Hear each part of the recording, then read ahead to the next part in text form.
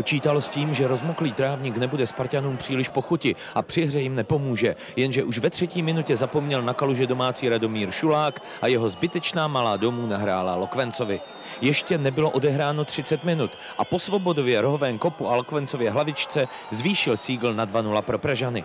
Domácí pak bojovali, ale vyráběli hodně nepřesností a navíc ve svém pokutovém území Spartané královali. Šulákův padáček byl výjimkou. Své úsilí Karviná korunovala v 79. minutě, když Kovář uvolnil Ryšavého. Karviná Sparta 1-2.